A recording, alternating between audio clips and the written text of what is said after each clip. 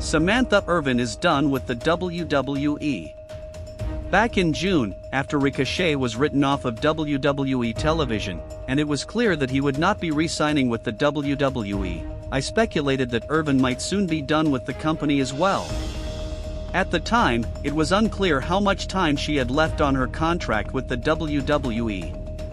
However, it seemed obvious that she would be exiting the WWE as soon as she could. Ricochet debuted on AEW in August, and Irvin's whose real name is Samantha Johnson, next landing spot, will likely be AEW.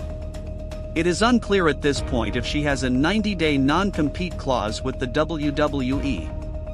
However, it would be shocking if she does not end up in AEW in the next couple of months, as their new ring announcer. A long-distance relationship between Irvin and Ricochet was never going to work.